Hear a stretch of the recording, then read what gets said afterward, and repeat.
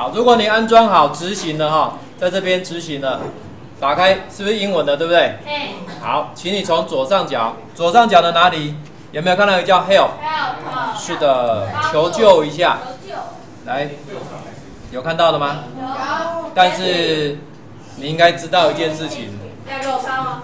啊，这两个有差啊，一个是简体，一个是繁体，他就不要写简体哦。对他就是没有跟你写繁体嘛，这样可以了解。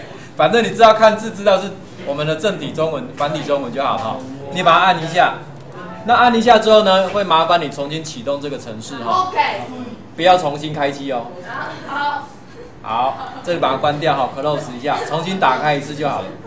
我怕有些太单纯的会直接重新开机。没有了。有没有变中文的？哇，有的哈，这样就可以进来了哈。那目前它最新的版本是到这个三点六二了，它只要有新版本，你打开的时候会自动通知你，好，会自动通知你。那你可以看到有没有发现有很多范本？